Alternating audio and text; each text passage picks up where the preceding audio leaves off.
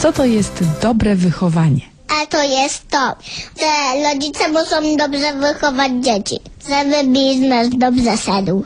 A jak nie wychowają, to są dla nami. A w jaki sposób trzeba wychowywać dziecko, aby urosło na porządnego człowieka? Żeby dużo jadło. Czego? Jedzenia. Bo kotlet daje porządność, a surówka jest dla na oczy. Rodzicom się nie uda.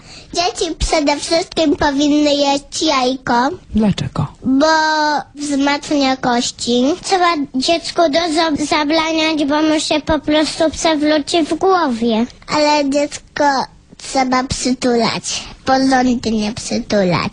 Dlaczego porządnie? Żeby było dzielne, umiał sobie same podciągnąć spodnie, A jak wygląda taka osoba, która jest bardzo dobrze wychowana? ma dużo pieniędzy i ten wychowany człowiek jest piękny, oczywiście, bo dobrzy ludzie są piękni, a niedobrzy brzydci, bo mało na tym zarabiają, że są brzydci.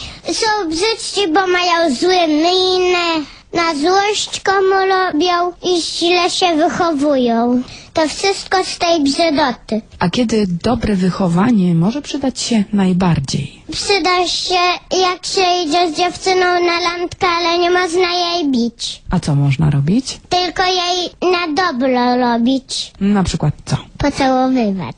Przytulać ją. Pustać oko, jak sobie życzy tego. I trzeba płacić za jej desel. A dlaczego trzeba płacić? Bo na przykład jest piękna.